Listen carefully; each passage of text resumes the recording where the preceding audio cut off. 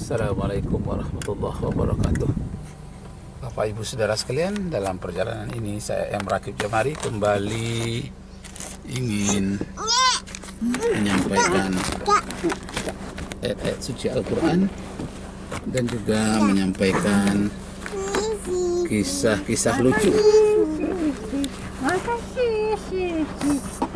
Kisah-kisah lucu yang pernah terjadi di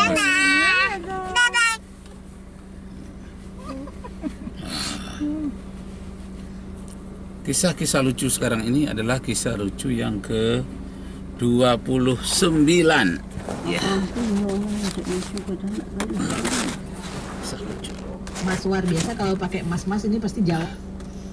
Kisah lucu yang ke 29 Astagfirullah.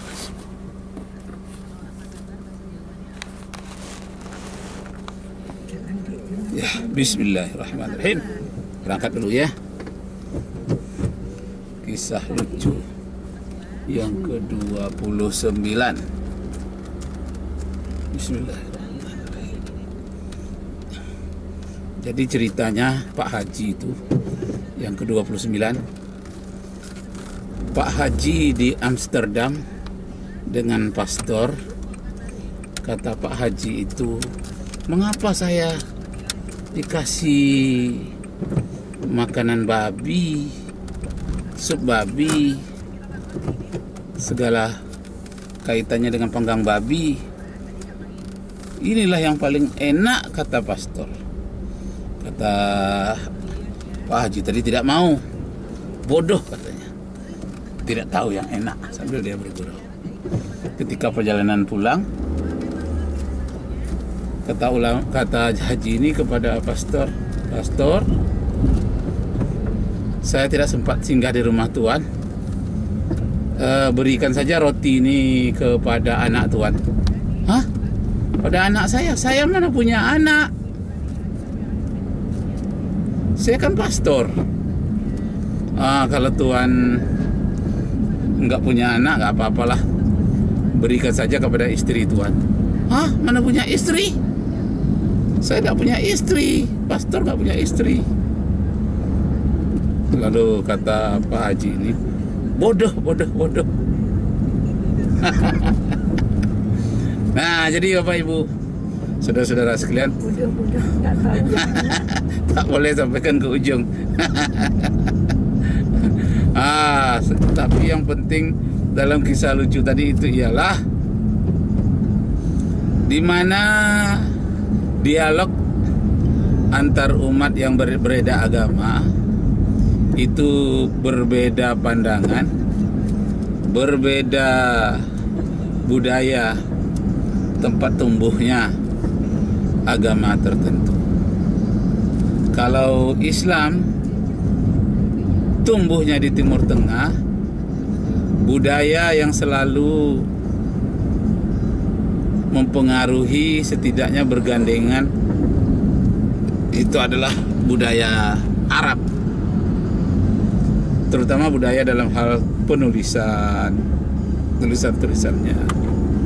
Budaya dalam tegur sapa budaya pergaulan budaya pakaian dalam berumah tangga tutur sapa. Nah ini semuanya budaya berbeda. Jadi ada yang menarik dari kelompok Khawarij menginginkan sama semua tidak ada yang berbeda. Nah, padahal salah satu ustadz, salah seorang ustadz di Indonesia ini selalu mempopulerkan. Justru tidak sama itu mendatangkan keindahan. Berbeda itu mendatangkan per eh, mendatangkan keindahan. Misalnya katanya, gigi manusia katanya ini mantap sekali. Gigi manusia tidak sama semuanya. Kalau seandainya gigi taring semuanya gigi kita semua ini, ah seperti apalah wajah kita, seperti apalah mulut kita. Seandainya gusi aja semua gigi kita ini di depan belakang gusi semua, ah seperti apa pula lah mulut kita. Atau seandainya gigi seri semua, kayak yang di depan ini gigi seri semua sampai ke belakang, ah seperti apa pula. Tapi Allah tidak menciptakannya sama. Walaupun sama-sama gigi, tapi bentuknya dibuat berbeda-beda. Kalau taring kena akan makan daging, akan mengoyak makanan, dibuatnya agak runcing. Kalau di depan gigi seri, karena akan berhadapan dengan orang akan senyum. Nampak gigi seri indah. Bagaimana kalau senyum itu taring yang dikedepankan? Tidak indah. Atau gusi yang dikedepankan? Tentu tidak indah. Nah, jadi gigi seri di depan untuk keindahan. Kemudian di tengahnya gigi taring itu untuk mengoyak makanan. Kemudian yang geraham untuk menghancurkan makanan. Jadi masing-masing tidak serupa, sengaja dibuat oleh Allah berbeda, tapi perbedaan dalam kesamaan. Jadi indah sekali. Jadi salapi misalnya itu amar ma'ruf nahi mungkar menghapus syirik budaya syirik. Nah, itu dia orang salafi. Datang nanti orang-orang fikih orang-orang Syafi'i Hanafi ah itu meratakan bagaimana bersuci yang membatalkan wudhu soal pendidikan ah lengkap pula lah di situ mengaturkan mengatur hal-hal tentang kehidupan sehari-hari lalu yang ketiga datang pula orang sufi orang tasawuf penekanannya kepada akhlak budi pekerti bagaimana akhlak tasawuf budi pekerti yang baik sebagaimana Rasulullah sallallahu alaihi wasallam. Jadi tiga ini se, uh, salafi, fikih mazhab, tasawuf, sufi. Ini tiga-tiga ini adalah merupakan kombinasi yang indah. Orang salafi jangan menyalahkan orang bermazhab. Orang mazhab yang empat jangan pula lah menyalahkan orang-orang sufi. Nah, Ketiga-tiga ini mempunyai peran masing-masing seperti gigi sri, geraham dan gigi taring itu tadi. Nah, jadi Bapak Ibu Saudara sekalian, jadi dalam kehidupan kita ini kita harus menerima perbedaan. Mau atau tidak tahu, mau, suka atau tidak suka. Nah, bagaimana kalau gigi serinya terlalu banyak atau taringnya terlalu banyak? Nah, itu sifatnya supaya seimbang sifatnya dakwah jadi bukan memaksa bukan memerangi bukan menuduh kafir menuduh bid'ah tapi berdakwah saja dengan cara yang baik. Udu'u ila sabili rabbika bil hikmah wal mau'izatil hasanah wajadilhum billati hiya hiya ahsan. Sadaqallahul azim. Iya. Sip. Nah, itu tadi Bapak Ibu serta saudara-saudara sekalian kembali kepada persoalan perbedaan perbedaan pendapat, perbedaan keyakinan antara Pak Haji yang diceritakan tadi pada umur yang ke-29 antara Pak Haji dan pastor itu tadi. Nah, Bapak Ibu saudara-saudara sekalian. Jadi saya pernah bertanya, kenapa pastor itu tidak menikah?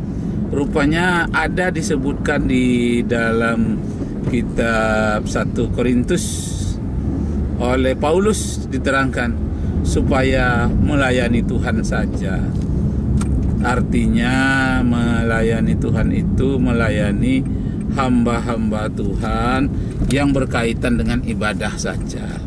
Jadi tidak tersibukkan dengan politik, masalah istri, masalah-masalah yang berkaitan dengan rumah tangga, tapi cukup melayani umat di rumah ibadah.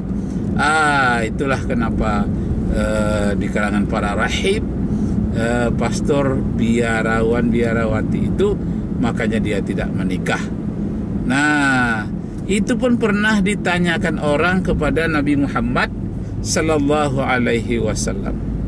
Ada seorang rahib yang sering hampir tiap hari puasa saja dia dan tidak menikah dia. Nah, eh, hanya beribadah saja di, di tempat ibadahnya. Rahib ini orang-orang yang membujang terus sampai tuanya ini datang kepada Rasulullah beramai-ramai didampingi oleh para sahabat Rasulullah. Maka para sahabat eh, mempersilahkan orang ini bertanya, "Ya Muhammad," kata mereka, "kami kira kami ini lebih taat daripada engkau. Saking taatnya kami tidak beristri. Saking taatnya kami puasa setiap hari. Saking taatnya kami hanya tidur di rumah ibadah, tidak ditidur di rumah kami masing-masing." Jawab Rasulullah, "Aku ini nabi, aku ini rasul, tapi aku juga punya istri. Berikan hak naluri fitrah manusia kita menurut haknya kata Rasulullah. Aku juga tidak puasa setiap hari, hanya puasa pada hari-hari tertentu, bulan-bulan tertentu. Berikan hak kepada perutmu, kepada keinginanmu sekedar haknya. Lalu kata Rasulullah, aku juga tidak tidur di rumah ibadah, aku tidur di rumahku, tapi aku kadang-kadang waktu tertentu aku juga bisa tidur di rumah ibadah. Berikan hak badan kepada badanmu, hak naluri kepada hawa nafsumu mutmainnah, nafsu yang wajar. Berikan hak kepada matamu untuk tidur. Masing-masing ada haknya dan berikan hak untuk mengabdi kehadiran Allah Subhanahu wa taala bangun di tengah malam sesuai hak dengan naluri manusia ingin mengabdi kepada Allah. Nah, jadi Bapak Ibu yang terhormat, kesimpulannya Rasulullah tidak setuju dengan orang yang banyak di masjid sholat sunat aja terus, tapi tidak berusaha. Tidak ingin Rasulullah melihat orang tuh uh, mengaji aja terus, mengaji mengaji sepanjang umurnya, tidak berusaha sampai-sampai dia melalaikan kewajibannya terhadap istrinya sendiri dan keluarganya. Kalau ditanya oleh keluarganya, mau ke mana bang? Ini tiga bulan mau khuruj. Tanya lagi ke mana ini tiga minggu mau khuruj. Tanya lagi ke mana ini tiga hari dalam seminggu mau khuruj. Nah itu boleh. Tidak apa-apa khuruj itu. Yang dilarang oleh Rasulullah bukan itu.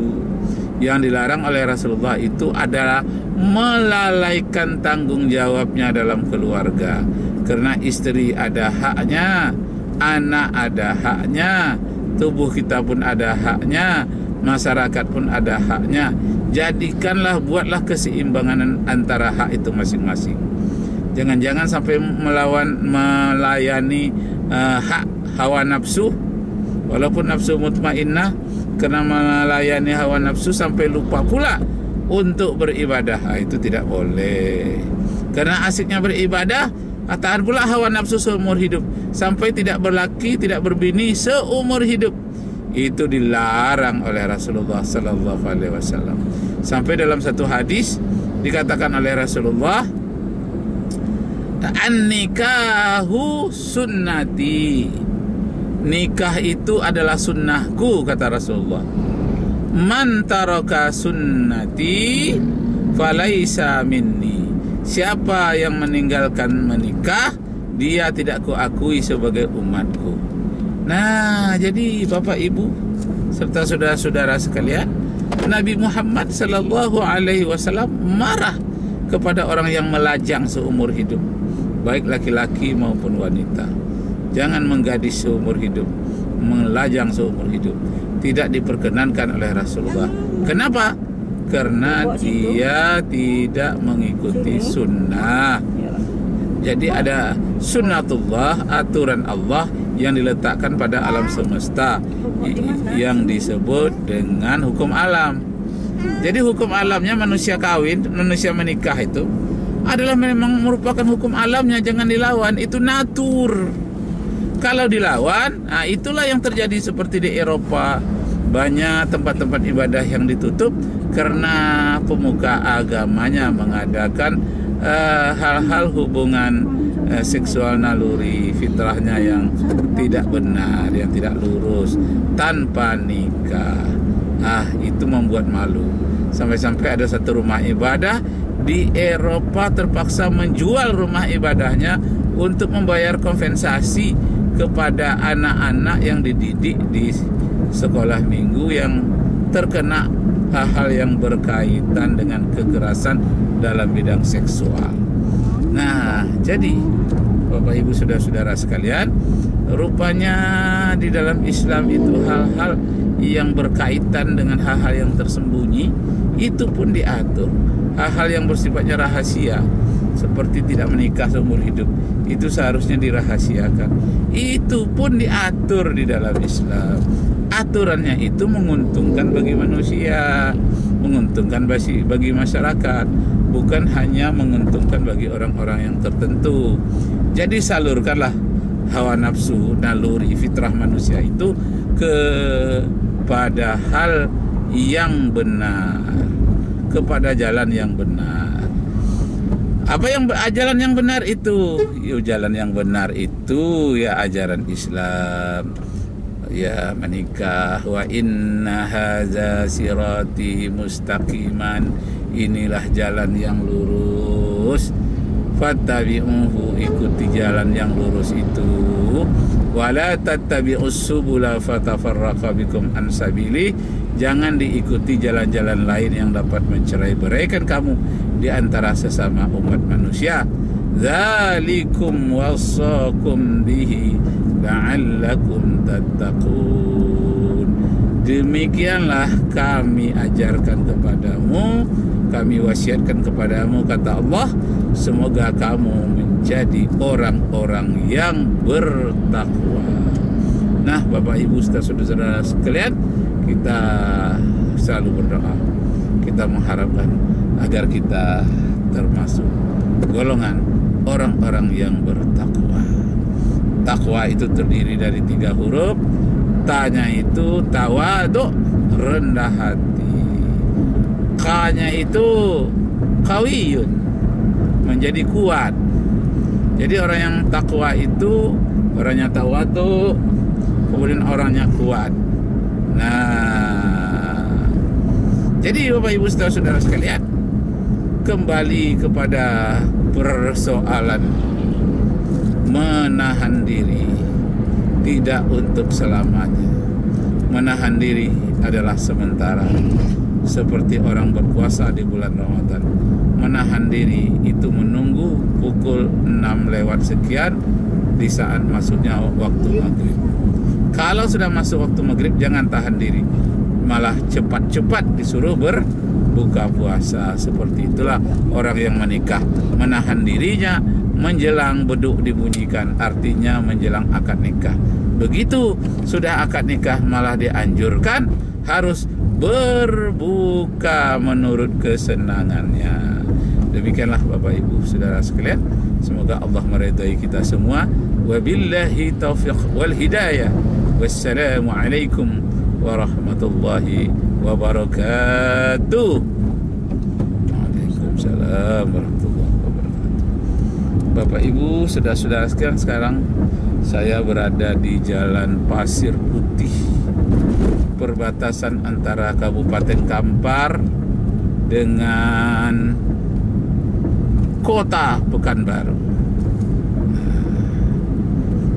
Perjalanan ini dari Simpang Beringin menuju ke Panam Pekanbaru memakan waktu lebih kurang satu jam.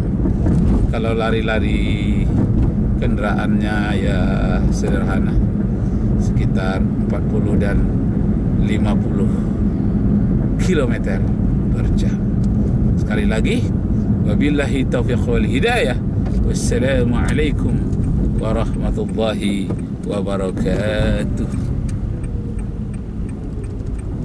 Ya kita berhenti dulu di sini Omang pindah ke belakang? Iya, iya pak. Bawa di belakang. Iya, turun